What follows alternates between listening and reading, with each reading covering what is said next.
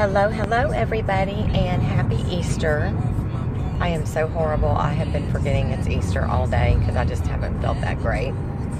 And I don't even remember if I did a video yesterday or not, or if it was Friday.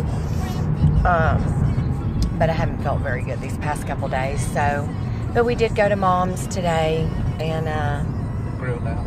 Yep, grilled burgers out. I ate soup, but um, a little bit of soup.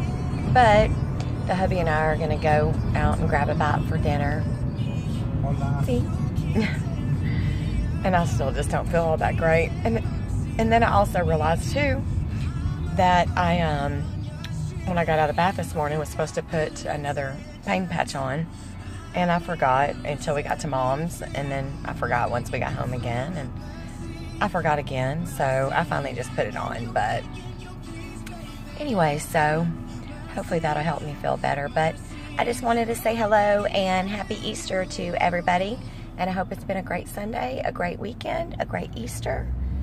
And um, chemo meds are supposed to be coming tomorrow. Stupid pharmacy.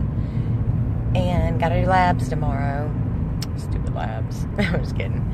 But um, anyway, so we'll see. But I'll jump on, talk to y'all more tomorrow. But I just wanted to say happy Easter and have a great Sunday and a great weekend. And I love you. Well, the weekend's over, baby. Well, I, I had a great had a great weekend. Hope you had a great weekend. and I love you. Bye.